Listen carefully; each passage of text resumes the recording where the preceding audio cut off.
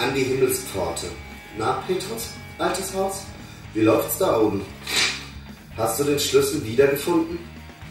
Küsse und Umarmungen.